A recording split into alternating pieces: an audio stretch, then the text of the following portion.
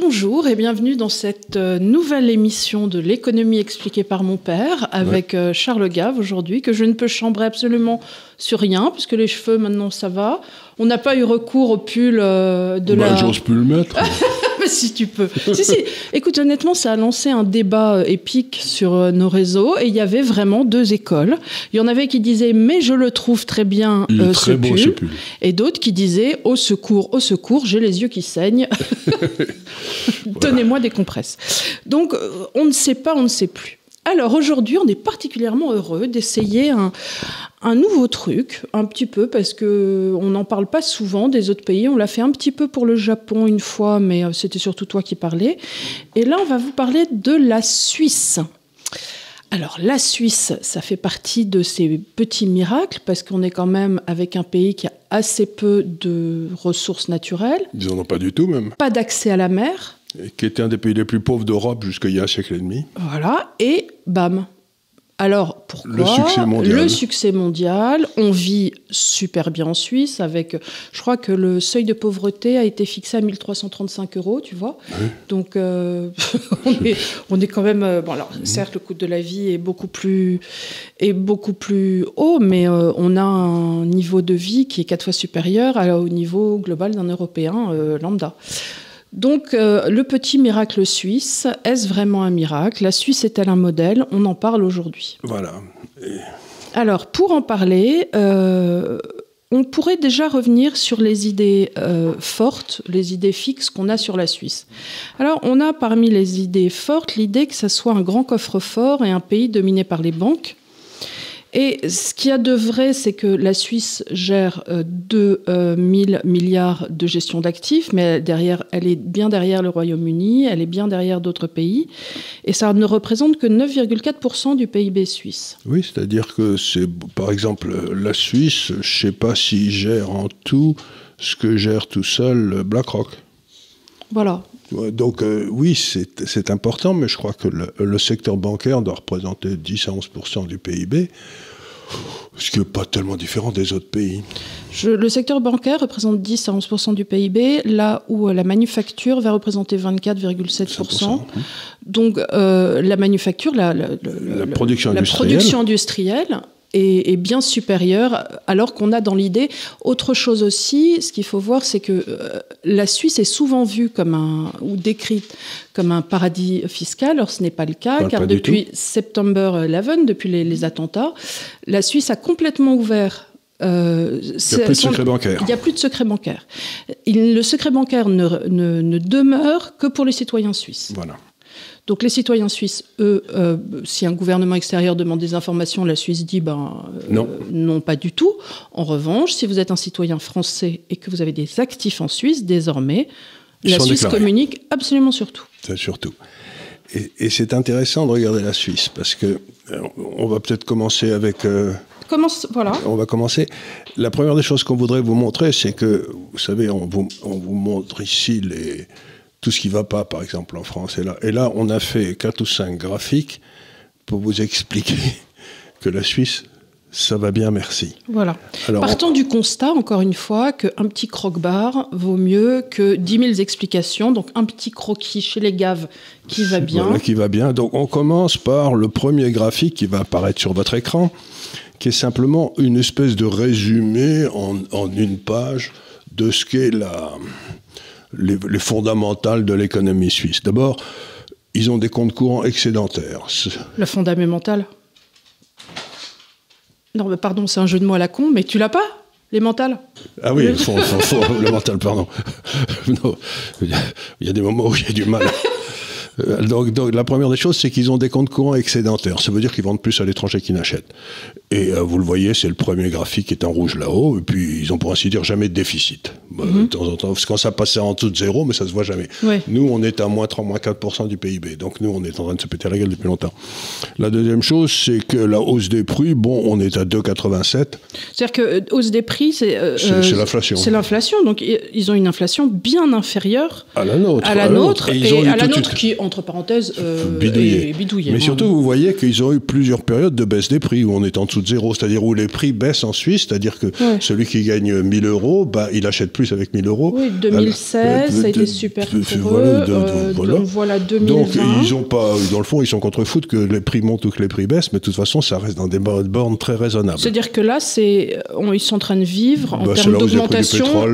Non, mais ce qu'ils ont eu, ce qu'on a eu en 2008, ce qu'ils ont eu en 2008. Ce que nous, grosso modo, si j'ose dire, la Suisse, ce qu'ils font, c'est que euh, ben, quand les autres ont 8 ou 9 d'inflation, ils ont 3. Quoi. Hum, hum. Donc, parce qu'ils ont une banque centrale qui est compétente. Et puis ensuite, alors on regarde la dette en pourcentage du PIB. Vous vous souvenez tous que maintenant on est à 120 ou 130% Bon, ben, ils sont à 40 et puis c'est pas, et puis ça bouge pas quoi. C'est à peu près raisonnable. Et ils ont un taux de chômage de 2% de la population, c'est-à-dire. Oui, alors 2% de la population, en gros, c'est le taux de chômage euh, irrésorbable, incompressible. C'est-à-dire que tu auras toujours dans une société des gens qui ne s'inséreront pas, qui sont marginaux. Qui sont en train de changer de boulot ou qui sont en train de changer de boulot, ou qui choisissent de faire une pause. Euh, donc 2%, c'est vraiment rien du tout. C'est ce qu'on appelle un taux incompressible. Donc on dit, bon ben voilà un pays bien géré. Quoi. Il n'y a pas eu de... Et alors je vais vous poser une question intéressante, c'est... Est-ce que vous connaissez un économiste suisse? Oui, non, non plus, non. Est-ce que vous connaissez le nom d'un politicien suisse? Alors ça, peut-être qu'on y reviendra, mais euh, sur, la, sur la, la, notion de démocratie directe et de démocratie mhm. participative, parce que la, Suisse, c'est quand même un exemple très intéressant. On parle toujours de, de la démocratie directe en Suisse, mais en, vérité, ils ne votent euh, sur des référendums que sur quatre ou cinq sujets. En revanche, il y a une multiplicité de petites assemblées absolument de partout, au niveau fédéral, au niveau cantonal, c'est-à-dire que partout, l'homme est impliqué dans alors les, les décisions. Suisses, ils ont compris quelque chose qui est très important, c'est que la première grande multinationale de l'histoire, hein, celle qui, qui, fonctionne toujours, euh, c'est l'Église catholique. Et l'Église catholique, pour avoir pour ne pas s'écrouler sous son propre poids, ils avaient inventé une notion qui est extraordinairement importante, c'est la subsidiarité. Ce qui peut être fait au niveau de la commune, au niveau de la paroisse, se fait à la paroisse. S'il faut, on montre l'éché-véché, puis si on monte, on monte au, primat, des Gaules ou je sais pas quoi, puis ensuite on va à Rome. Et c'est ce que font les Suisses, c'est-à-dire mhm. que toutes les affaires qui doivent être traitées par la commune sont traitées par la commune, ils sont, on vote là, mais il y a des tas de choses, par exemple, comme l'éducation, les écoles, très souvent, c'est géré par les communes. Donc vous vous trouvez avec des gens qui votent sur des sujets qu'ils comprennent, etc. Mhm. Et, sur lesquels ils ont un intérêt direct. sur lesquels ils ont un intérêt direct. Et euh, toutes les questions de souveraineté, c'est pas des référendums populaires, mais euh, trois ou quatre fois par an, ou les questions de société. Mais euh, ce qui est très intéressant, c'est à dire que de ce fait, les Suisses seraient d'un énorme problème de la démocratie, qui est ce qu'on appelle le, le, passager clandestin. Mhm. C'est-à-dire le gars qui a, a des avantages sociaux, etc il fait rien pour les mériter, mais il, fait tout pour les toucher. Oui, parce que, Donc, on voit, vous savez, c'est ce qu'on voit partout en France. Il y a des passagers clandestins partout, dans les administrations, des gars qui travaillent pas, qui sont payés, enfin tout ça. Mais là, si toutes les dépenses et les recettes sont comptabilisées à l'échelle locale, puis euh, si un passager clandestin qui arrive, tout le monde le voit. Il apparaît clair comme. C'est-à-dire que si les bénéfices sociaux étaient payés au niveau des communes, et euh, par exemple en France, on, verrait très bien les gars qui. Euh, ah bah oui, c'est comme euh, si tu portes pas ton propre poids ben voilà. Euh, et que tu es 6 à porter un canot, tu, tu, te rends compte que quelqu'un dit donc tu portes pas le piano, toi, tu fais quoi? Non mais tu t'en rends compte. Tu t'en rends compte, mais tu le connais. Je me souviens très bien. On a, mes parents habitaient dans une petite commune qui était dans le sud-ouest de la France, à côté de Toulouse, et je discutais un jour avec les gendarmes et les gendarmes locaux savaient très bien qui étaient les gars qui ne euh, devaient pas avoir de location mais qui en avaient et quels étaient ceux qui avaient des allocations et dans le fond les méritaient quoi. Donc on aurait dit aux gendarmes locaux ben, on va vous charger de donner les ben, il y aurait eu beaucoup moins de passagers clandestins. Donc l'un des grands problèmes de la démocratie qu'on a aujourd'hui, cette démocratie qui s'est éloignée du, du, peuple pour aller vers des... C'est qu'on donne des bénéfices à tout le monde, mais qu'il y a beaucoup de passagers clandestins. C'est ça. Le... Je vous donne un exemple aussi. Il y a une commune là, je crois que c'est Beaucaire, pas très loin d'Avignon, là, où il y a, qui est à la limite de trois départements. Mhm. Et il y avait toute une série de gars qui étaient inscrits à des bénéfices sociaux dans les trois départements. Enfin, maintenant, j'espère qu'avec l'informatique, ça a été résolu, ce genre de choses, non? Même pas sûr. Pas sûr. Donc, c'est vraiment le, le vrai problème de démocratie, c'est le passage clandestin. Bah, le gars qui touche. On a le problème avec des gens qui ne sont plus en France et qui continuent à toucher, leur chômage. Et qui sont morts depuis 20 ans. Voilà. Et pareil avec l'allocation mmh. des retraites, des gens qui sont morts au bled depuis 18 000 ans et qui continuent. Euh, ah, vous touchez toujours votre retraite à 122 ans 122 ans, c'est bien, oui. Alors, alors, donc ça, c'est la première chose. La Suisse va bien. Alors, sur le deuxième graphique, on montre autre chose, c'est-à-dire que euh, tu as déjà mentionné que la Suisse continuait à être un pays industriel, industriel. un des plus industriels qui soit. Et là, on met la production industrielle française, qui est en bleu, et la production industrielle suisse, qui est en rouge. Et vous voyez que ben, nous, on est à peu près au même niveau que quand on est sorti de l'euro, quand on est mhm. rentré dans l'euro. Et la Suisse, elle, a doublé sa production industrielle. C'est quand même tout à fait extraordinaire. Et les gens vont me dire, oui, mais enfin, le franc suisse est monté de 50% contre l'euro depuis. Oui. Donc c'est pas parce qu'ils sont, ils ont dévalué ou qu'ils nous ont volé. Les Suisses, ils en ont rien à foutre des Chinois. Ils en ont rien à foutre de, des Indiens qui sont pas payés, etc. Ils ont une production industrielle qui continue à monter parce qu'ils font d'excellents produits et qui sont les meilleurs dans ce qu'ils font. Donc encore une fois, quand les gens me disent c'est le libre-échange qui a créé l'effondrement de la production industrielle française, je dis c'est du pipeau. Parce qu'ils sont 50% plus chers qu'ils étaient contre nous il y a 20 ans. Et ils ont monté alors que nous on a baissé. C'est donc qu'on a un problème qui n'a rien à voir avec le commerce extérieur et tout à voir avec la France. Et donc, effectivement, si on regarde, si on parle de problème, euh, la production industrielle française, c'est la ligne bleue sur vos écrans. Et on voit apparaître des, un, décrochage. Bon, ça s'est maintenu jusqu'à à peu près 2008-2009, la, crise européenne. Et, ensuite. Euh, et maintenant, on va avoir un nouveau, boum, ça va replonger, puisqu'il y a une récession qui arrive. Oui, et là, la chute, c'est le, Covid. C'est le Covid. Donc, on voit bien que la façon dont se passent les décrochements, c'est toujours la même chose. C'est-à-dire que. C'est ce que disait euh, Marc euh, non, c'est ce que disait Oscar Wilde. Il disait qu'on lui demandait comment vous êtes ruiné. Le demandait le juge, il avait dit lentement au, début, et Très, très, vite à la fin. Et c'est exactement que ça se passe. Les, pauvres industriels français, ils tiennent, ils tiennent, ils tiennent. Et puis ils sont comme avec leurs petits doigts accrochés dans la glace, ils glissent, ils mm-hmm. glissent, ils glissent, ils glissent. Puis à un moment, ils peuvent plus tenir et crac, il y a toute une série qui se pète la gueule en même temps. Et c'est là, c'est ce qu'on appelle une récession. Donc il va y avoir la même chose qui va arriver maintenant. Euh, Mais la Suisse, regardez, c'est extraordinaire. Depuis 2019, nous, on a baissé et la Suisse a explosé à la hausse. La Suisse a explosé à la hausse. Parce que eux, ils sont des industriels qui sont rentables. Et nous, on n'en a pas. Donc c'est la première des choses, c'est de voir que la Suisse est un pays qui s'en sort très bien, bien qu'ayant une monnaie qui soit montée de 50% depuis 20 ans. C'est-à-dire c'est gigantesque. Ils, avaient pendant un temps euh, annexé une convertibilité, je crois, ils avaient bloqué. ils, avaient bloqué. ils avaient bloqué contre l'euro. Et puis quand, quand les banques centrales européennes, banque centrale européenne a commencé à faire, n'importe quoi, il a dit ben on laisse euh, le cours flotter. Je l'ai dit, il n'est pas tellement, je crois qu'il est à 1,18, 1,19 alors qu'il avait été Il a explosé à la hausse et puis il est redescendu tout de suite après. C'est-à-dire que les gens sont dit, ah bah, c'est le moment d'acheter du franc suisse. Et surtout, il y avait tout un intérêt de gars qui empruntaient en franc suisse pour se mettre en obligation italienne, en se disant comme ça. Et, ben, là, ils, ceux-là, ils ont couvert rapidement, ça fait monter le franc suisse. Bon. Donc la deuxième chose, c'est que euh, la Suisse, elle n'en a, rien à, elle en a rien à secouer des Chinois, des Indiens, des, euh, de la concurrence déloyale des Américains, etc. Ils s'en sortent très, très bien tout seuls. Il faut hein. dire que euh, le produit suisse est souvent un produit dans, dans la manufacture de, de, très haute gamme, Mais que pour ce soit dans les montres. Pour une raison très simple, c'est que ben, dans la mesure où leur taux de change monte sans arrêt, ils sont sans arrêt de en train de monter dans les activités qui ont la valeur ajoutée la plus forte. exactement. Et donc ils sont, c'est du darwinisme. Euh, voilà, ils font pas des, des, des, des bouts de culon euh, à 0,20 centimes. On fait des trucs. Ils font euh, des trucs tout à fait. Mais surtout, ce que ça veut dire, c'est que quand on regarde ce que font les Suisses, quand on essaye de comprendre, il y a aussi une, une espèce d'éthique qui se met derrière. Alors, qui est liée au, d'abord à la population suisse et au système d'éducation suisse. on est toujours sur la même. Je, m'explique, c'est-à-dire qu'ils ont un système d'éducation, comme j'ai dit, qui est très local, qui forme très bien les gens, mais vers 14-15 ans, il y a beaucoup de gens qui décident de plus continuer d'études et commencer ce qui est faire un petit peu des temps partiels avec des entreprises locales qui prennent les jeunes, qui les forment. En fait, ils ont un système d'alternance euh, beaucoup plus important et surtout, ils ont, donc il y a la maturité et euh, ils ont dans l'idée que tout le monde ne peut pas véritablement être appelé à faire des études supérieures qui voudraient dire quelque chose.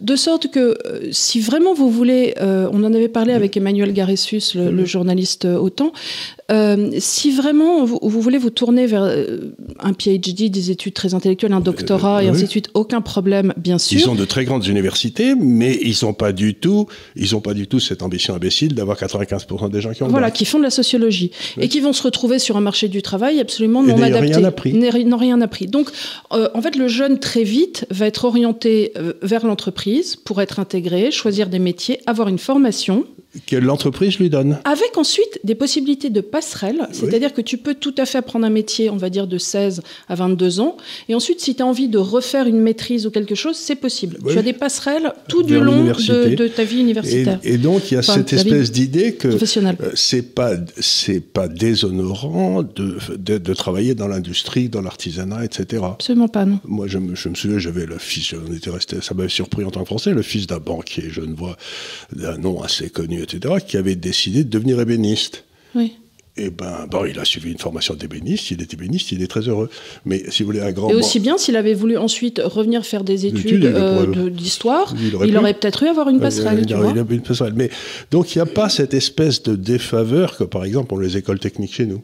Oui. Euh, bah, le problème, nous, c'est que euh, les écoles techniques, c'est en général quand tu es euh, en difficulté vers 16 ans. On dit comme tu es un crétin. On t'oriente en disant comme tu es un crétin, on t'envoie et tu te retrouves dans des, dans des CAP menuiseries avec. sur lesquels il n'y a plus personne. avec des gens qui ne savent ni lire ni écrire parce qu'ils sont là, parce qu'ils sont en échec scolaire depuis la plus tendre enfance et c'est pas très valorisant. non, pas, et, et les, les, boulots dans la Suisse, dans tout ce qui est industrie, sont extrêmement bien payés. Mhm. Et donc, donc on voit bien que là, il y a une espèce d'attitude de dire euh, il, n'est pas déshonorant de ne pas être un intellectuel. Oui. Et ça ne veut pas dire, et encore une fois, ça me rappelle toujours la fameuse formule de Montaigne qui disait euh, J'aime les gens de mon pays qui n'en savent pas assez pour raisonner de travers. Oui. Parce qu'il y a aussi, dans toutes ces fausses études qu'on fait en France, on apprend aux enfants des tas de fausses idées. Et quand ils vont dans le vrai monde, ils se rendent compte que bah, c'est pas comme ça que ça marche. Et puis on a fait un ministère de la fausse idée, on l'a appelé ENA. Hein, et on les a tous mis dedans. On les a tous mis dedans et ensuite ils vont faire, ils vont, ils vont faire des petits ils partout. vont faire des petits partout. Donc la première question à laquelle j'essaie de répondre dans cette première enquête sur la Suisse, euh, c'est pourquoi? Pourquoi nous on se plante et pourquoi eux ils y arrivent? Ben, je vous amène au graphique numéro 3. Sous vos yeux ébahis Sous vos yeux ébahis, qui donne une explication simple. C'est que depuis, j'ai regardé depuis 1970, mais là je vous montre depuis 1990, le poids de l'État dans l'économie suisse est à 30%. Oui, alors c'est souvent ce que tu appelles dans tes livres euh, le ratio communiste. ratio communiste sur le, ratio, entreprise. Et ce que montre la Suisse, c'est que dans le fond, une économie bien gérée, un État doit être à peu près à 30%, c'est-à-dire qu'il fait les fonctions mais il ne va pas s'occuper de ce qu'il ne sait pas faire. Alors, je vais faire un petit euh, caveat sur ce point, parce que j'ai lu dans, ce livre qui s'appelle La Suisse est un modèle que j'avais acheté pour l'occasion, un article, euh, une conférence d'Yvan Blot, qui expliquait le lien euh, de corrélation, de causalité qui existe, plutôt de causalité, entre la démocratie directe et la fiscalité. Oui. Et donc l'étude porte principalement sur la Suisse et les États-Unis en démocratie directe. Et il se trouve que les pays où la démocratie direct existe. les gens votent l'impôt directement. Euh, votent l'impôt directement. La fiscalité est beaucoup plus basse et du coup, allez savoir, le PIB est 5% supérieur. La croissance euh, est beaucoup plus forte. La croissance est beaucoup plus forte que l'État à côté qui a la même économie et relativement la même population. J'avais montré ça il y a longtemps dans des études que j'avais faites, que vous avez peut-être vu passer, qui montraient que plus, de plus le poids de l'État dans l'économie augmente, vous en verrez un exemple aujourd'hui, plus la croissance diminue. C'est-à-dire parce que dans l'État, on peut dire tout ce qu'on veut, mais il n'y a pas la, ce qu'on appelle la destruction créatrice. Schumpeterienne. Schumpeterienne, c'est-à-dire que quand l'État commence à faire quelque chose, si ça rate, il continue. Mhm. Tandis que dans le secteur privé, si on essaie de faire quelque chose et que ça rate, on arrête parce qu'on n'a plus d'argent. Bah on a fait faillite. Donc là, quand vous voyez que la Suisse reste à 30%, c'est-à-dire qu'ils ont cette extraordinaire sagesse de ne pas demander à l'État de s'occuper d'eux. Et nous, on est passé dans la même période, de 1990 à 2020, on est passé de 45% à 60%. C'est incroyable. C'est-à-dire que le poids de l'État ne cesse d'augmenter dans l'économie. Et parallèlement, nos hôpitaux n'ont jamais autorité à l'os, l'éducation nationale y tout, et euh, trouvez-moi un service public qui fonctionne. Oui, mais ce qu'il y a d'extraordinaire, c'est que justement, c'est ça. Alors qu'on a une augmentation de 20% des dépenses. Oui, mais c'est absolument extraordinaire. Et on voit, et on voit par exemple l'hôpital aujourd'hui, en France, euh, je crois qu'il y a 4,5%, je ne sais pas quoi, pour le, euh, du PIB qui va au fonctionnement de l'hôpital. Les hôpitaux ne marchent plus du tout. Mais pourquoi? Parce qu'il y a de moins en moins de médecins de moins en moins d'inférieurs et de plus en plus de personnel administratif. Donc, c'est l'État qui est en train de rejeter ça. Mais si l'État était, si l'hôpital local était géré par le canton, il n'a pas besoin d'avoir 25 gars qui vont faire des rapports à Berne ou à Zurich pour savoir. Donc, il y a des médecins, il y a des mhm. infirmières, mais il n'y a pas tellement d'administratifs. Et donc, on se rend très bien compte que cette bah, espèce de cancer administratif, ça, ça, ça mène rien. Ça devrait être que pour les factures, euh, pour les pour les, pour les, pour les patients. Et je suis sûr que pour les euh, factures en Suisse, elles doivent être très bien faites et elles doivent se passer directement dans la société d'assurance qui, qui garantit le malade et, l'hôpital, et ça doit se passer de façon parfaitement rationnelle. Donc, mon explication que je vais te présenter aujourd'hui, c'est que la Suisse a su contenir son espèce de moloch administratif et la seule façon, c'est ce que disait déjà Locke, c'est par le vote des impôts directement. C'est-à-dire que c'est les Suisses qui votent en disant est-ce qu'il faut augmenter de 15% les gens qui travaillent à l'école? Euh, peut-être pas, non, vous êtes gentil, et mais aussi, donc, on revient, euh, la Suisse n'a pas connu ce mouvement euh, jacobin qu'on a eu, nous, d'hypercentralisation. Jamais. Et est resté, déjà, parce que, encore une fois, on le rappelle, c'est quand même rigolo quand tu penses à la Suisse, qui est quand même constituée de trois peuples qui parlent des langues différentes, qui peuvent pas s'encadrer, et, pourtant et qui ont des religions différentes. Et qui ont des religions différentes entre les, les, trois Suisses. Et tout le monde, bah, vaille que vaille, trouve son accord. Encore une fois, la volonté d'être une nation euh, ne passe pas par la langue et beaucoup par la volonté. Beaucoup par la volonté et aussi par... Moi, je, vous raconte une blague qui me fait toujours rire, mais enfin, j'ai un humour un peu spécial. C'est. Euh, T'as pas aimé mon humour mental euh, Non, mais on a, un humour un peu particulier dans la famille. Donc, c'est l'histoire d'un Français et d'un Suisse. Et il y a le Français qui est mort de rire parce qu'il y a un ministère de la Marine en, Suisse. Mm. Il y a des gens qui s'occupent des bateaux. Mais c'est vrai, ils ont plein de lacs. Hein, bah, Logique. Et, et, ben, et puis euh, le Suisse qui regarde leur français, l'air un peu hasardé, qui dit mais Vous avez bien un ministère des Finances en France. Donc, et je vous signale que j'ai lu un nombre de papiers considérable fait par des hommes politiques français quand ils étaient rendus visite à la Suisse. Et c'était pas pour voir leur compte en Suisse comme M. Cahuzac, c'était des gens qui allaient voir. Euh, de comme ça pour essayer et qui expliquait aux Suisses comment ils devaient gérer leur pays. Euh, c'était tout à fait extraordinaire. Mais j'en ai vu plein. J'ai des rapports qui étaient faits par des sénateurs, des députés, qui disaient que la Suisse n'a pas compris que la démocratie, c'était quand même la hausse du poids de l'État dans l'économie. Quoi. Donc les Suisses ils disaient non, pas vraiment, c'est pas notre idée. Donc c'est assez charmant. Donc, alors, on arrive maintenant à un élément qui est important et qui est donc celui qui s'appelle J'arrive, on, va s'en sortir, mais je vais y arriver. Voilà, c'est les dépenses de l'État en pourcentage du PIB et marge brute des sociétés en France. Donc vous mettez ça sur l'écran, et là, vous voyez, c'est quelque chose qui est tout à fait extraordinaire. C'est que vous mettez le poids de l'État en pourcentage du PIB en noir, échelle de gauche. Voilà, vous voyez. Donc si la ligne noire monte, ça veut dire que le poids de l'État dans l'économie monte. Donc ça commence à 45, ça, fait des petits escaliers. Ça fait des petits escaliers. Ça marche à 55, là on est en 95. chaque fois qu'il y a une crise, ça remonte et hop, ça remonte. Chaque, chaque, crise est absorbée par l'État qui devient plus grand. Baisse entre 95 euh, et 2010, relative. 2010, relative, bah, enfin ça cesse de monter un petit peu, mais après on avait, il fallait digérer ce qu'on avait fait là. Oui. C'est le moment où on fait les 35 heures et tout. Voilà. Ensuite, repetit plateau de 2010 à 2020, et puis le Covid. Et puis le Covid. Mais chaque grande crise, la France, dans la façon dont elle résout ses crises, c'est on augmente le poids de l'État dans l'économie. Ne vous inquiétez pas, les gars, on va faire des boucliers. Donc les boucliers, c'est la ligne noire qui monte. Boum, boum, boum, et elle vient de monter. Et la ligne rouge, c'est les marges brutes des sociétés, c'est-à-dire la rentabilité des sociétés, mais à l'envers. Voilà. C'est-à-dire que si la ligne rouge monte, ça veut dire que la rentabilité de société baisse. D'accord. Donc là, quand tu as un gros pic euh, entre 95 et 2008, donc on va dire que c'est 98, Oui. la marge brute d'exploitation, ça veut dire que euh, les sociétés ont plus de cash. Elles Euh, ont de moins en moins d'argent. Voilà. Donc la façon dont la France résout son problème, c'est elle fait monter l'État Oui. Au- en- et elle, détruit ses sociétés. On a quand même une corrélation euh, quasi parfaite. Euh, bon, Voilà. sauf les énormes. Alors, qu'est-ce qui s'est passé là euh, en 2000 on en est- 2009-2010, c'est la Oui, crise. c'est la crise Et on voit la marge des sociétés qui s'effondre. Et là, la grosse, grosse truc là, entre 2010 et 2015, 2012. 2010-2015, mais ça c'est la crise européenne. On a d'abord Ah oui. eu la crise de 2008, puis la crise européenne, et à chaque fois les marges des sociétés s'effondrent. Donc la façon dont la France règle le problème, c'est vous inquiétez pas les gars, on va aller piquer l'argent chez les sociétés. Et on va vous le donner à vous pour que si vous que vous, vous soyez pas. Donc le fameux bouclier, c'est on décime. Ça me rappelle exactement à Azincourt où les Français ont pris une raclée parce qu'il y avait les archers anglais qui, euh, qui tiraient sur les chevaliers qui étaient. Et entre les chevaliers et les archers anglais, il y avait les troupes à pied. Et donc, des Français.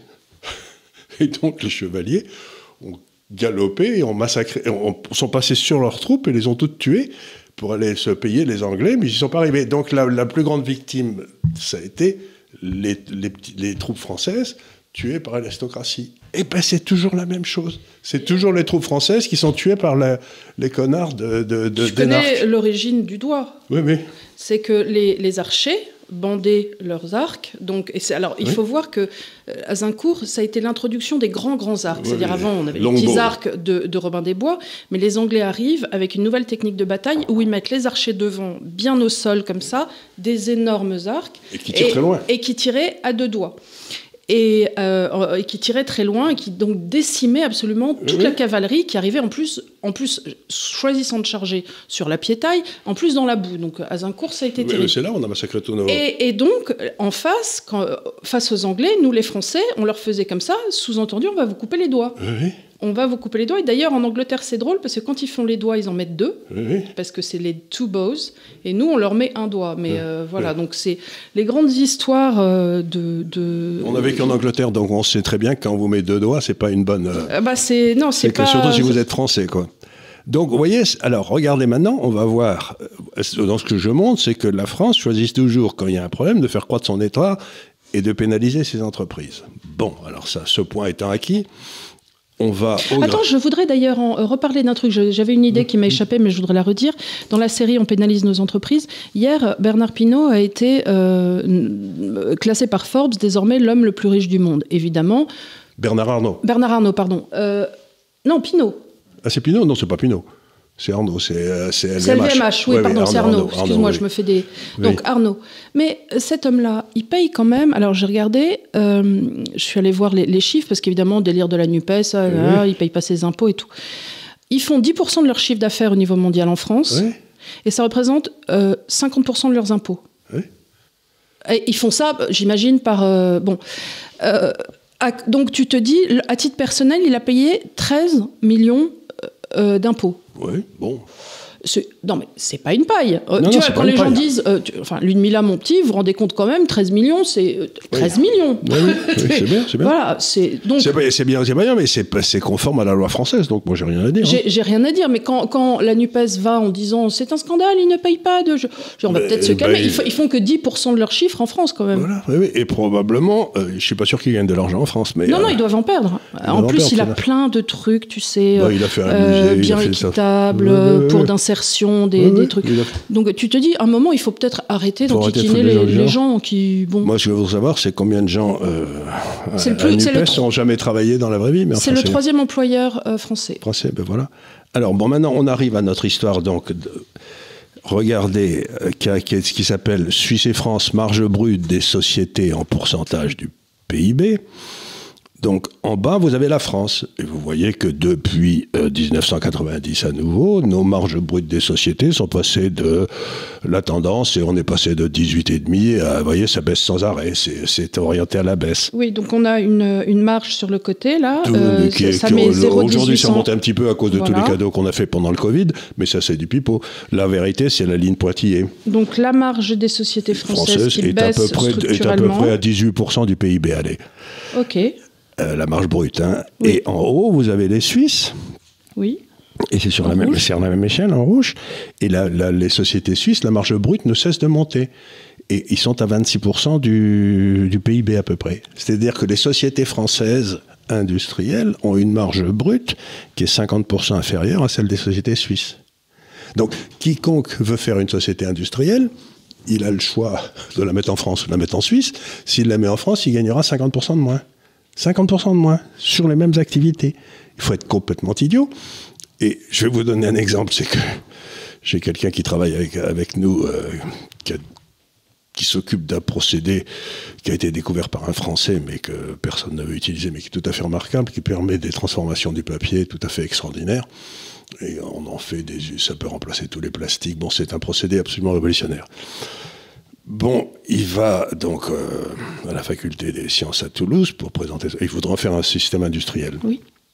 Il va alors, euh, il prend rendez-vous avec les gens à Toulouse.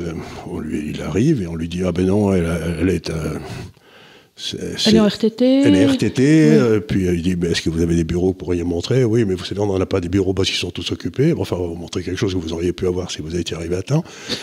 et alors, les impôts, comment ça se passe? Le, le, personnel, je le trouve où? Parce qu'il y a une très grosse école de chimie à bord à Toulouse. Hein. Bon, bref, c'était la désorganisation la plus totale, ça servait à rien.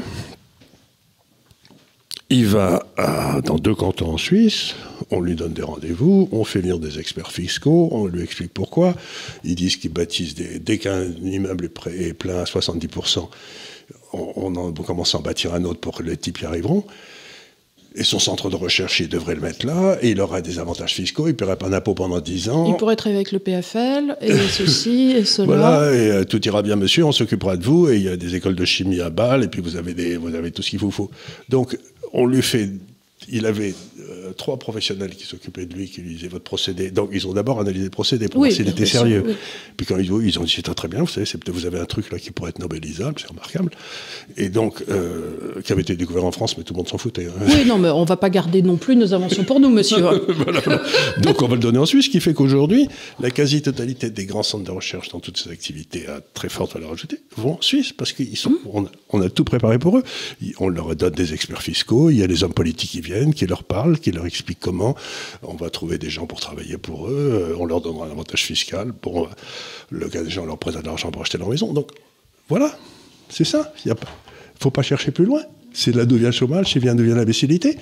C'est que ben, la dame, elle était RTT, là-bas, il y avait euh, deux fois. voilà, et il a, il a eu deux jours de rendez-vous sur place. C'est dans deux cantons différents qui étaient parfaitement montés, et voilà.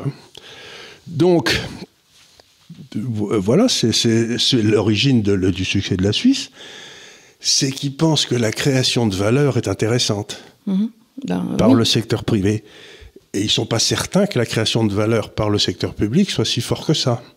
Oui, je pense, pense que personne ne s'attend à ce que la création de valeur se fasse justement par le secteur public. Mais si, parce que par exemple, tu as toute une série d'imbéciles qui disent ben, pour créer des emplois, il n'y a, a qu'à embaucher des fonctionnaires. Oui, bien sûr, oui. Ils pensent, ils pensent, si tu veux, que mais la création de valeur par le secteur privé, aussi bien à gauche qu'à droite, c'est pas une notion qui les intéresse. Mm. Eux, ce qui les intéresse, c'est ils prennent ça comme un acquis, la, la création de valeur se passera de toute façon, l'intendance suivra, et puis nous, on répartira cette valeur en fonction de nos préférences. Alors je dirais, bon, ben, très bien, mais, euh, mais, mais peut-être on devrait d'abord s'occuper de la création de valeur. Les, les Suisses, ils s'embêtent pas, ils n'ont pas de problème particulièrement philosophique sur la répartition de la valeur. Ce qui les intéresse, c'est comment crée-t-on de la valeur et ils s'arrêtent à ce point-là. Alors, c'est drôle, mais je crois qu'il y a une antinomie structurelle aussi, euh, historique presque. Euh, qui remonte, nous, euh, à la centralisation depuis la Révolution française que nous a imposé ce, avant, ce, certain jacobinisme, mais oui, qui a avant, puisque Louis XIV a quand même aussi cherché, et, et, tous ses ministres, et Colbert, on va justement à centraliser. L'homme qui a ruiné la France, Colbert, oui. Voilà, à, tout. Alors que les Suisses, et c'est intéressant C'était pour faire des guerres. Oui, mais... Louis XIV, c'était pour faire des guerres. La Révolution, c'était pour faire des guerres.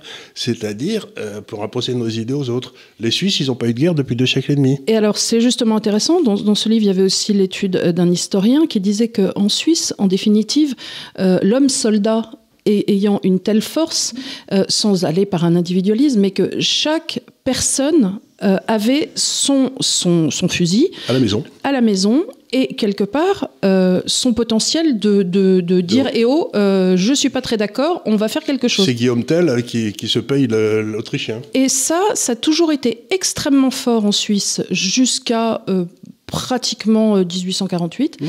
Et ils sont restés dans une idée quand même d'abord de, de, euh, de, petits groupes dans cette subsidiarité, c'est-à-dire que mmh. euh, on fait ces exercices avec les copains du canton qu'on connaît, et ainsi de suite. On est quand même armé. Effectivement, la menace nucléaire a changé cette façon de travailler. Ils sont très bien adaptés. Hein. Ils, sont, ils, sont ils, ont fait des, ils ont fait des trous partout dans lesquels ils mettaient de l'eau, des biscuits, voilà, des conserves. Mais ce qui veut dire que intellectuellement, le Suisse homme est local. Est local et intellectuellement, euh, c'est euh, ce que les libertariens appelleront "don't tread on me". C'est je suis ma propre force autonome et je suis un citoyen. Et ça, c'est quelque chose qui est très important. The people. oui, oui, the people. Mais je suis un citoyen. Et ça, c'est quelque chose avec lequel j'ai des discussions avec les Français qui parfois m'agacent beaucoup, c'est qu'ils me disent oui, mais les Suisses, ils sont assommants. Je vais raconter une autre petite anecdote. C'est, j'étais à Zurich, hein. je devais aller avoir une banque, c'était il y a longtemps, qui s'appelait Guyer-Zeller Zurmond, qui était une banque suisse, je ne sais pas où elle était, le long du lac. J'étais, j'étais un peu paumé, je vois un flic et je lui dis euh, voilà, je voudrais aller à cette adresse. Alors il m'explique, vous prenez la première à gauche, deuxième à droite, troisième à gauche, au feu, vous tournez, etc. Je lui dis merci beaucoup.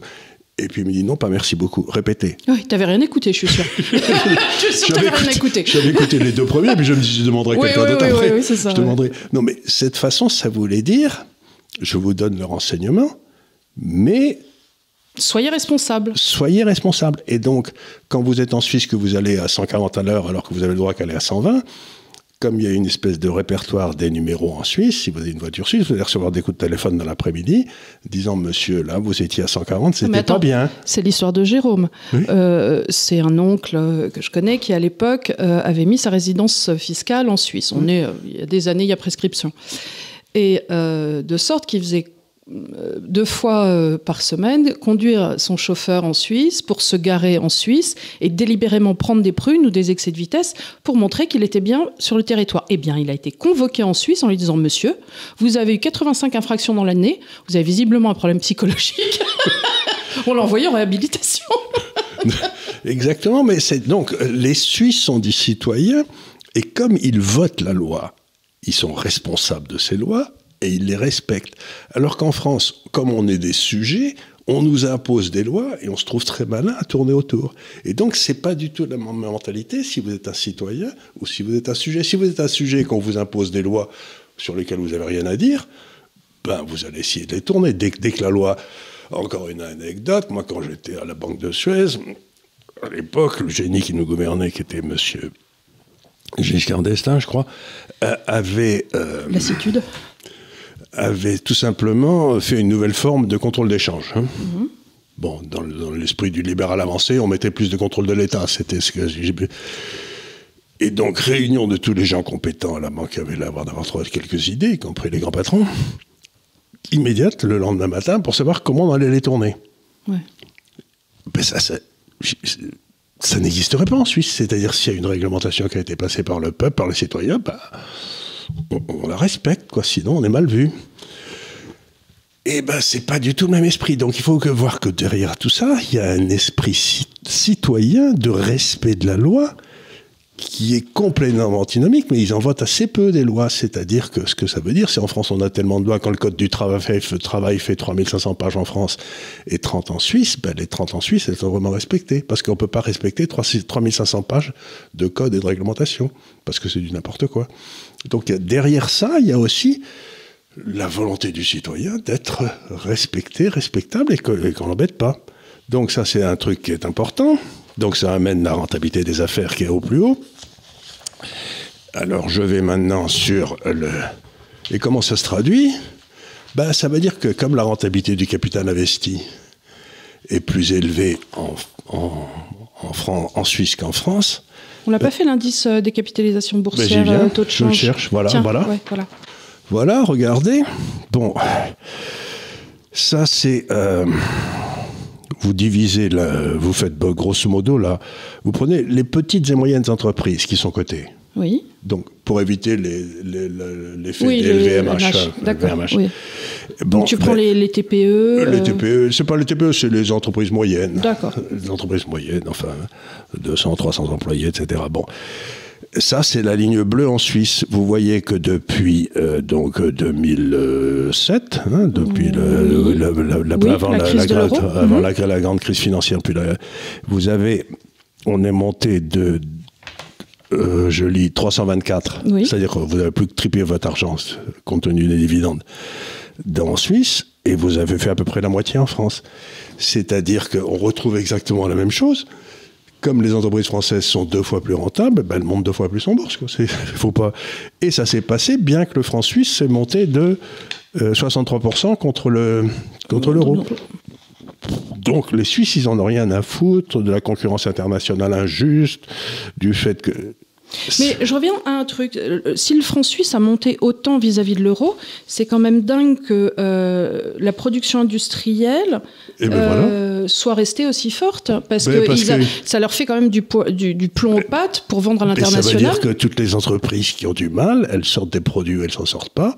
Regardez, regardez, mais en plus, là où ils sont bons, ils ne le tuent pas. Nous, on avait une domination totale de l'énergie nucléaire et en, l'espace de 20 ans, cette baisse de la production industrielle française, c'est due en grande partie au massacre de notre production industrielle par les, euh, par, les, écolos. Les écolos, et qui représentaient 3% des voix, et que ces crétins qui nous gouvernent. Ah, il y a des vidéos de Dominique Voynet euh, revenant euh, de l'Europe d'il y, y, a 25 ans, et en disant je, je, suis ravi, j'ai enterré tous les programmes nucléaires. T'as envie de dire, mais ma, cocotte, si on va pas. elle, mais qu'on aille avec des fusils. Cet hiver, quand on aura des coupures. Mais c'est là où tu vois toute la différence, c'est que si tu fais un référendum, oui. les écolos font 3%. Donc personne n'y fait attention. Mais si tu es dans un monde où soi-disant tu es moitié-moitié, les écolos, c'est ce qui fait la balance entre être au pouvoir et pas être au pouvoir. Et donc, tu vas, tu vas faire attention à ce que disent les écolos, tu vas fermer les centrales nucléaires, à l'heure qui représentent que 3% des voix et que 97% des Français sont contre. C'est toute la différence entre une démocratie directe et une démocratie représentative. Et une démocratie participative. Et une démocratie participative. Parce que là, on parle de la démocratie directe, mais aussi, comme tu l'as dit tout à l'heure, il y a des tas d'assemblées qui votent sans arrêt. Quoi. C'est, euh, mmh. et, au niveau cantonal. Et, au niveau euh, municipal. Je, pourrais te retrouver le nombre d'assemblées, mais euh, c'est. Attends. donc, tu as un empilement de systèmes représentatifs. Tu as deux chambres au niveau fédéral, le Conseil des États et le Conseil mmh. national. Tu as 24 parlements dans les 26 cantons que compte le pays, et environ 500 parlements communaux dans les 2700 communes des pays. Et il n'y a pas de truc forcé, il n'y a pas de communauté de communes, etc. Parce que ils sont. Donc il y a cette espèce d'organisation qui, c'est vraiment la différence entre une société qui s'organise par le bas et, si je devais dire quelque chose qui m'amuse beaucoup sur la Suisse, c'est qu'il n'y a pas d'État. Non. Non, non. Il n'y a, pas, il a pas du tout. Il y a, ce qui est rigolo en Suisse, c'est qu'il n'y a pas d'État. Et je ne connais pas le nom d'un politicien suisse encore une fois, c'est parce que c'est très fragmenté. Et euh, quand tu as contact, alors j'ai encore une fois. Mais ils ont des fonctions étatiques, la diplomatie, l'armée. Euh, la diplomatie, elle est très très forte, la diplomatie suisse, parce que justement, ils ont. Euh, mais la diplomatie, l'armée, la justice.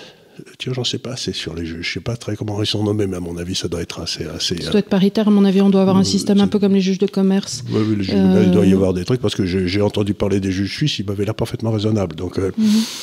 Et, euh, Souvent, ça doit être des pères des professions. Je vois bien un truc comme ça chez eux. Je sais pas. Il faudra que je regarde un peu les. Je n'en sais pas assez sur les juges suisses. Parce que l'un des gros problèmes en France qu'on a avec les juges, c'est cette espèce d'école imbécile qui a été faite par. Euh, euh, de Bray, l'école nationale de la magistrature. Entre ça et l'ENA, il a vraiment plombé la France, celui-là. Et où on a des gens qui pensent tous de la même façon donc et qui n'ont aucune expérience de la vie. Il y a ça, et la lenteur de la justice aussi, euh, euh, avec une fragmentation. Enfin, je veux dire, mmh. il n'est pas rare d'attendre 2-3 ans, avoir une condamnation, 5 ans. Moi, j'ai un de mes amis qui, est un, qui était un homme politique qui a eu des ennuis, etc. ça fait, je crois, 7 ans qu'il attend son jugement. Et en attendant, on a bloqué tous ses actifs. Donc il vit avec euh, l'équivalent d'un SMIC. C'est incroyable. C'est incroyable, mais ça fait sept ans. Euh, quand la justice atteint ces niveaux-là, ça devient un déni de justice. C'est-à-dire que l'absence de punition est la punition. Mhm. C'est-à-dire que si tu veux te débarrasser d'un gars, tu lui envoies des gens aux fesses. C'est comme l'histoire de la, je sais pas, j'y connais rien, mais la, corruption de Sarkozy, je sais pas si elle est corrompue ou pas. Mais enfin, ça fait quoi? Ça fait maintenant 15 ans qu'on le, le, poursuit? Euh, Un peu moins, mais euh, effectivement, tu te retrouves, j'imagine, à devoir gérer tes avocats, les coûts que ça engendre. C'est-à-dire Et puis le fait que tu peux plus rien faire d'autre, puisque oui, tu es en attente de quelque chose. Tu es en attente, donc euh, tu, et puis les gens disent, vous savez, il n'y a pas de fumée sans feu. C'est un peu comme les, tu sais, ces gens qui ont, de chez Libération qui ont écrit ce papier immonde sur toi, histoire d'avoir un truc. Alors c'est assez drôle, c'est leur façon de procéder, hein, c'est les mmh. fact-checkers. C'est un, un, gamin qui, qui, sort un article absolument sans fondement. Le truc est repris tout de suite chez Wikipédia, qui le source comme une source d'information infaillible, alors que lui-même, l'article n'avait aucun fondement et ne citait rien. Et les gens disent, vous avez quel attaqué en diffamation? Ben, Enfin, vous êtes gentil. Ça prend, 7, ans? Non, ça va prendre 2-3 ans, ça va coûter 40 000 euros. Euh, tu es pas sûr de revoir cet argent.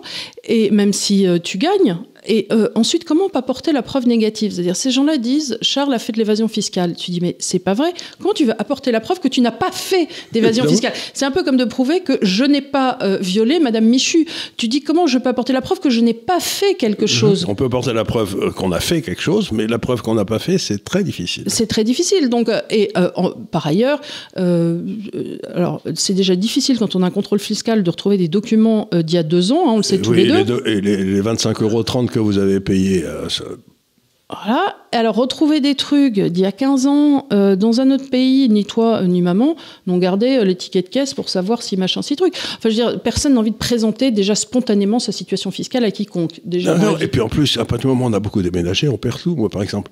Enfin bon, ça c'est pas, c'est, pas pour excuser, c'est juste pour dire, enfin, qu'est-ce que ces gens-là veulent qu'on fasse? Je, je, trouve ça hallucinant que Libération ou qui que ce soit puisse écrire des articles en disant il a fait de l'évasion fiscale alors que tu n'as aucune condamnation, ton casier vierge, enfin. Oui, mais ça, mais ça fait rien. Et que tu as eu des contrôles fiscaux, comme tout le monde. Oui, oui. qui ont été parfaitement passés et où ils ont même révisé. On s'est quitté bons amis. On s'est quitté bons amis. Ils m'avaient même condamné sur des. Euh, non pas condamné, mais parce que j'avais des propriétés en France à l'époque où je vivais en Hong Kong. Je ne savais pas qu'il n'y avait pas d'accord fiscal entre Hong Kong et la France. Ils auraient pu me prévenir au consulat, mais ils ne m'avaient pas prévenu. Et donc, j'avais deux maisons en France et ils m'ont taxé sur le fait que j'aurais pu les louer. Ils t'ont taxé sur la valeur locative que tu aurais pu avoir, quand bien même ils savaient, de par les registres DF, que ces maisons n'avaient pas occupé. Toutefois, elles auraient pu l'être. Donc, donc j'étais taxé sur ce que j'aurais pu toucher. Ils t'ont taxé sur la valeur putative que ces revenus auraient pu générer, quand bien même ils savaient qu'ils n'en avaient pas généré. voilà. Mais voilà, donc tu as eu un redressement à hauteur de, du revenu locatif que j'aurais pu avoir être c'est quand même extraordinaire. Pour un spécialiste fiscal, je m'étais pas bien débrouillé sur ce coup-là. Mais les gens comprennent pas que, enfin, là, c'est une note personnelle, c'est que, je vais dire un truc, c'est que l'argent m'intéresse pas. Oui, les gens n'arrivent pas à comprendre ça. Les gens, ça, ce qui, m'intéresse, c'est de savoir comment on crée de la valeur et quels sont les processus de création de la valeur, parce que ça, c'est très intéressant. Et puis, si on y arrive, on, on rajoute au bonheur du monde.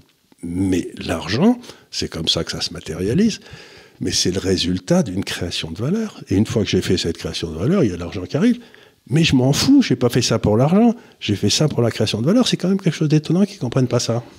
Françoise Sagan, dans Bonjour Tristesse, disait que quand elle avait eu de l'argent, c'était le moment le plus horrible parce qu'elle était obligée de dire non à des gens au moins deux fois par jour parce qu'on mmh. allait lui demander des sous et euh, voilà. Et, le, fait psychologique de devoir dire non, J'imagine que les gens qui gagnent à euh, l'euro million, mhm. des choses, ça doit leur faire un petit peu pareil.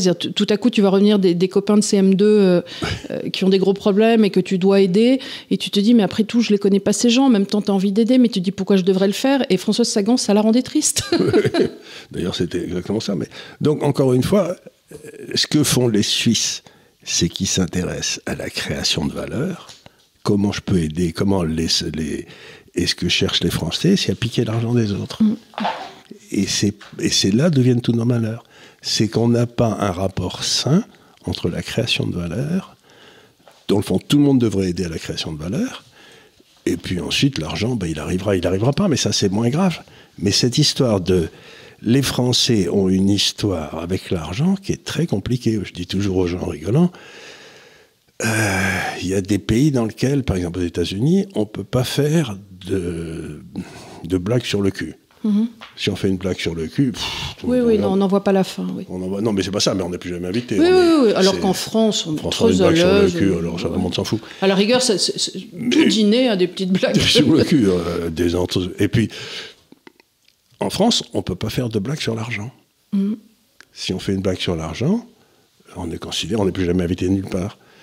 Et donc, euh, ben, je trouve que il serait temps que les Français perdent cette, cette relation haineuse avec l'argent et qu'ils se concentrent sur la création création de valeur, que, que chacun d'entre eux essaie de créer de la valeur. Je me demande euh, à quoi ça remonte, mais regarde, en même temps, quand tu réfléchis en Suisse, il n'y a jamais eu véritablement de parti communiste avec une prédominance forte. Tu peux pas, à partir du moment où tu euh, t'intéresses à la création de valeur. On est toujours resté justement dans le monde communiste et socialiste, dans des acceptations. Euh, du reste, il y a des syndicats, il y a des, il y a ah des... Ah des syndicats d'entreprise et qui sont mais qui sont des vrais syndicats. les syndicats euh, agricoles. syndicats, non, non, c'est des, au contraire.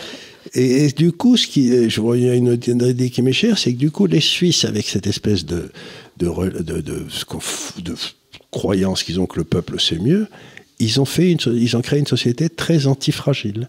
Mhm. C'est-à-dire qu'ils ne tombent pas dans. Par exemple, ils, euh, bah, ils, ont préservé, ils ont préservé parfaitement leur agriculture. le paysan suisse, il est subventionné à mort, mais parce que dans le fond, c'est un jardinier. Est-ce que tu dirais que la Suisse est un, du coup un pays libéral ou un pays populiste? Puisque... Non, c'est un pays, si tu veux, qui a compris cette notion d'antifragilité avant, c'est-à-dire qu'il y a des choses. Je te donne un exemple qui pour moi est assez intéressant. C'est que si tu as des vrais taux d'intérêt dans le système, mm mettons à 5-6%, un euro que tu toucheras dans 30 ans, ça vaut quasiment rien aujourd'hui. Tu vois, parce que c'est le phénomène des comptes, c'est-à-dire, bon, le phénomène des comptes, c'est très important. Donc, c'est-à-dire que le capitalisme, le libéralisme, il a du mal à dépasser les 10-15 ans d'horizon.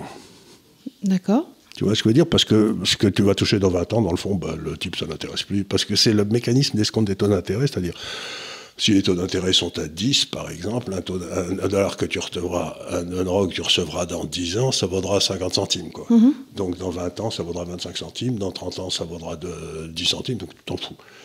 Mais il y a toute une série d'activités dans une nation qui sont à 20, 30 ans, 40 ans. Le programme nucléaire, par exemple. Au hasard. Et l'agriculture, pouvoir faire bouffer les gens, mhm, etc. Mhm. Enfin, il faut une visibilité, donc, un temps long. donc, à ce moment-là,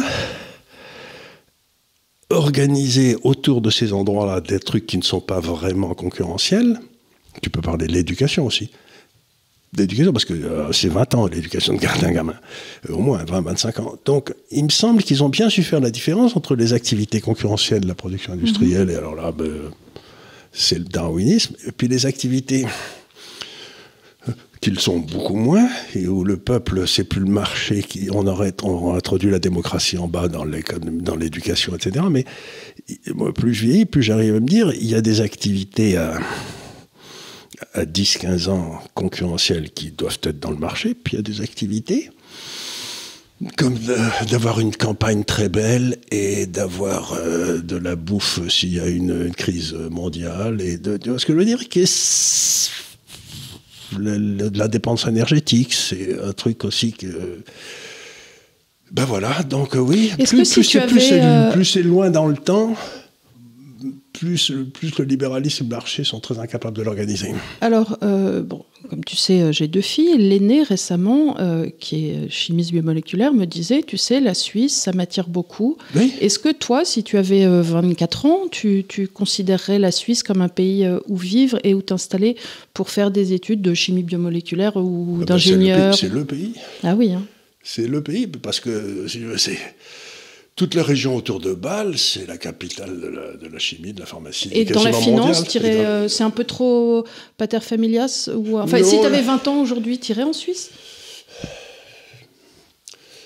Peut-être, ouais. peut-être. Avec l'inconvénient que je risquerais de m'emmerder parce que j'ai un côté anard. Hmm. Et que bah, respecter les lois, ça me brode. Mais enfin, les lois, non, ça me brode pas du tout. Mais enfin, il y a des. Pff, il y a des moments où il n'y a pas une voiture à un kilomètre à gauche, un kilomètre à droite, et tu ne peux pas traverser, tu vois, ça fait oui. En bon français, tu te dis, bon, je traverse et tout le monde t'engueule. Mais, donc, il y a ce côté, bon, qui est gaulois, mettons. Mais euh, si j'étais passionné par un sujet scientifique, et que tu voulais vraiment travailler ce sujet sans je... être enquiquiné par des normes Sans être enquiquiné par des crétins, sans être enquiquiné par des gars qui vont te... Oui, je crois que j'irai en Suisse. Et il ne faut pas oublier que sur les, trois premières, sur, les trois, sur les quatre premières personnes qui m'ont aidé à m'installer, il y avait trois Suisses. C'est-à-dire qu'ils ont, je ne sais pas ce qu'ils ont perçu en moi, mais ils ont dû se dire tiens, là, un gars qui ne pense pas comme tout le monde. Bah, on, ils ont simplement vu euh, leur marge brute d'exploitation. Ils se sont dit, il va peut-être nous faire gagner de Il va l'argent. peut-être nous faire gagner de l'argent, même s'il a l'air un peu. Mais euh, ils ont pris le risque. Ils ont pris le risque et ils l'ont fait. Ils sont, je mis à 3 ou 4, c'était des, des, banques de taille moyenne. Et, et je, je, les en remercie tous les jours. Mais euh, en France, quand j'ai quitté la Banque de Suez, tout le monde m'a dit, t'es fou. Mmh. Bah oui, tu avais un emploi stable. C'était comme d'être à Paris-Bas, tu sais, à l'époque, c'était voilà, quand même. Tu aurais, pu, aurais pu finir parmi les 8 numéro 2. J'aurais pu finir parmi les 8. Mais je crois pas, parce que. Et, et donc, ils ont cette espèce de.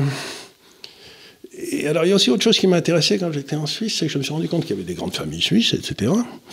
Et qu'il y avait un peu l'équivalent proportion gardée de ce qu'on appelait la, la, la gens romaine. Mm -hmm. C'est-à-dire que euh, tu étais là, tu étais, et tu faisais partie d'une espèce de clan comme les Écossais, qui, qui dans le fond, euh, quand ils avaient un problème avec un enfant qui était trop brillant ou n'importe quoi, ils allaient voir le chef du clan en lui disant Dis donc, là j'en ai un.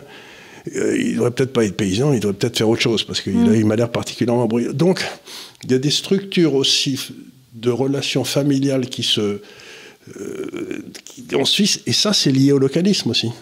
C'est très Karl Popper comme vision, ça. Il y a un côté, quand même. Euh, ah, tout à fait. Enfin, ce que, si tu me dis une classe élitiste qui gère. Il gère pas, mais. Non, non, mais qui, t'impliquait. Qui, et qui va repérer que là, il y a. Au fin fond, il y, a un, il y a un fils de paysan qui a l'air d'être un petit peu. C'est une société ouverte, dans le bon C'est une société sens. ouverte, et donc ils vont, ils vont le faire venir, et, et lui, on le. Mm. Il, il, il Ce qu'on a perdu en France, parce qu'encore une fois, c'est la on fameuse. fait plus qu'à Paris. On fait plus qu'à Paris. Et puis tu regardes. Regarde le, le ministre de l'Éducation qui met ses enfants à l'école alsacienne. Ouais. Et puis de, je regardais un, un, graphique qui a été fait par je sais plus qui, qui disait quelles sont vos chances d'intégrer euh, l'ENA si vous venez du. En fait, c'était un truc. Si, si vos parents font des, des une étude, une étude, supérieure, vous avez 80% de chances de plus que si votre Et c'est la fameuse histoire de euh, tous les ministres viennent de 15 jardins d'enfants. Et, et c'est vrai. Bon, on met un case-neuf de temps en temps pour. Euh, pour euh... oui, mais encore, il devait être fils d'instituteur là-bas.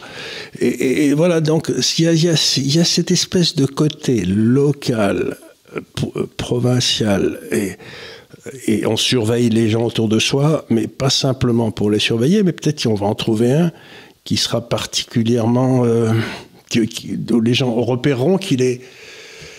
Qu'il était très bon. Un petit Napoléon. Un petit qui, mon, qui montera depuis, qui montra... depuis la Corse. Oui, il montra depuis la Corse. Mais bah, si, il était quand même brillant. Après, ah, euh, oui, il, a foutu l'Europe à feu à sang, mais ça, c'est un autre débat. Mais, un autre euh, débat. mais il était brillant, le garçon Bonaparte. Oui, tout à fait. Donc, encore une fois, donc, ce que je veux dire sur la Suisse, c'est aussi curieux que ça paraisse pour deux pays aussi. C'est deux pays euh, qui sont aussi loin l'un de l'autre euh, qu'il est possible. Et je constate la même chose avec l'Angleterre, où j'ai beaucoup vécu. L'Angleterre, bon, c'est la démocratie représentative, c'est l'invention de la liberté.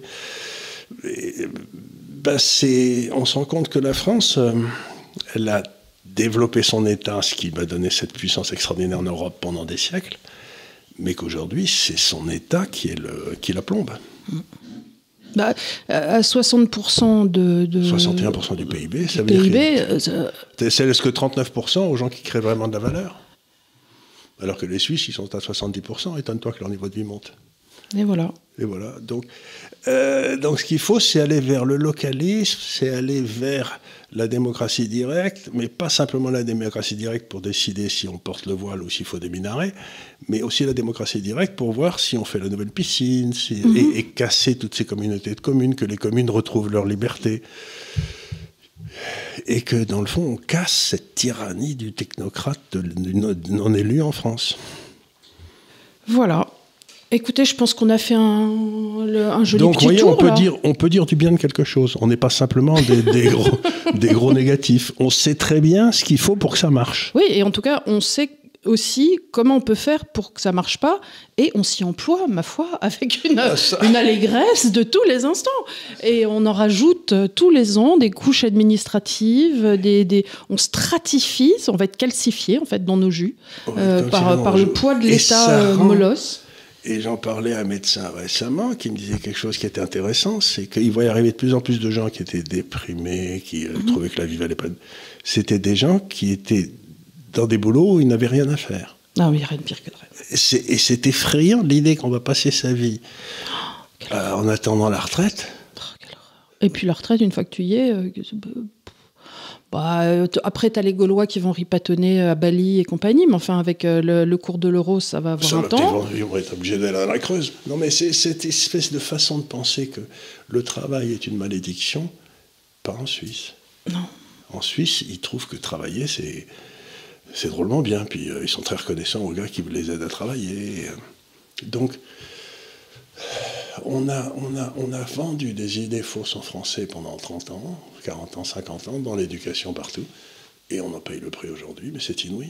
Mes filles sont allées faire leur passeport suisse au consulat, euh, et, euh, parce que mon, mon ex-mari est suisse, comme tu sais, leur père, et, euh, mais elles étaient mais, confondues de bonheur. Parce qu'on a fait des passeports en France depuis qu'elles sont toutes petites, donc elles, elles sont allées à la, au consulat en s'attendant à ce que ça soit comme la mairie, c'est-à-dire qu'on ait besoin de rendez-vous, même si elles avaient amené tous les serfins, ça allait pas, la photo, non, vous me les refaites, elles sont pas bien et tout. Non seulement il y a une dame gentille, mais elle a pris tous les papiers, elle leur a dit bonjour, enfin, le truc incroyable. Elles sont ressorties avec leur passeport dans l'heure, enfin, euh, elles disaient, mais enfin, qu'est-ce qui se passe Elles ont été, mais alors, me- subjuguées. euh, c'est- Voilà, voilà.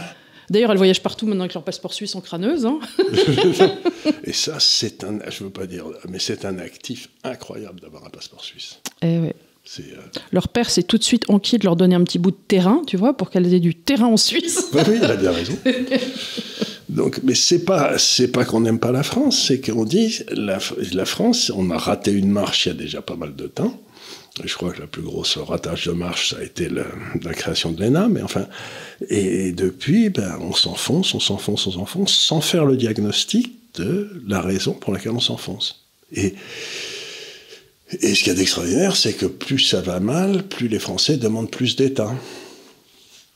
C'est-à-dire, c'est redonnez-moi une, une dose de, schn- de, de- de schnapps parce que j'ai euh, une, euh, j'ai une maladie de foie.